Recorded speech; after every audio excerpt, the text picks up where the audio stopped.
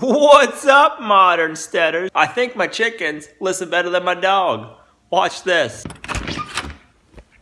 Come on, girls. Let's go.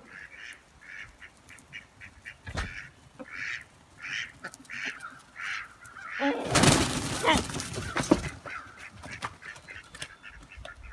don't know if you heard that at all, but you see all the chickens run either under the stairs or in the chicken coop. You know what happened? I heard a crow crowing, and then they spooked and they ran under. That's awesome instincts. Woohoo! That's good to see that happen. Kind of made me jump for a second, but now I know why they did it. And I know that this Mr. Rooster right here will protect his ladies good while they're out free ranging. There's a couple of them hiding under the steps. Oh, they were under the chair. Oh, look at them all coming out. That is some good instincts, ladies. Let's go check on that broody hen. I don't know how long.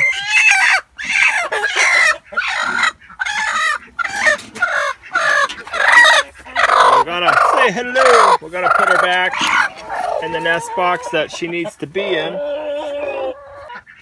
Let's see if she'll stay there this time. I don't know how long she was off of that one nest for, but she was on a different nest with new eggs.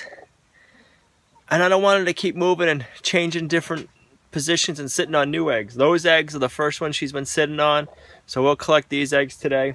Even if those ones don't hatch out, I'm going to try to see how to get her to stay in that one nesting box. Maybe it won't work. I don't know, but it's worth a try. The way I look at it is those eggs have already been claimed by her and we're not going to do anything with them. So let's just keep her sitting back there and see what happens. She looks like she's not very happy with me right now. Look at her. She's pissed. Look at that mohawk, lady. Look at the mohawk. Good morning, modern steaders. It's the next morning. We're going to feed the chickies. Let's go see if that broody, Silkie hen is still in the same nest box.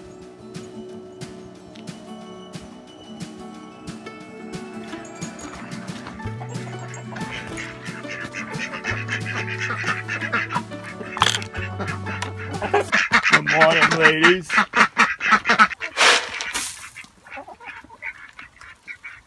So there's the broody hen. She's in the same spot. She don't even like us giving her food. And every morning when we come out, she's always in the same nesting box that we put her in that afternoon. So I'm kind of wondering if there's another chick kicking her out of her spot. And then after she gets up from getting a drink, there's another bird in there and she can't get back in there. I don't know, but what's your experience with this? Leave it in the comments below. Let me know what you think or what some different ideas I could be doing. We don't have another coop or anything we can put her in at this time, so I'm trying to figure out the best way to make this situation work with what we have. Thanks for watching. If you liked the video, give it a thumbs up. Make sure you share it. It really helps. Don't forget to subscribe, and we'll see you right back here next time at Lumnah Acres, a guide to modern homesteading, self-sufficiency, and freedom.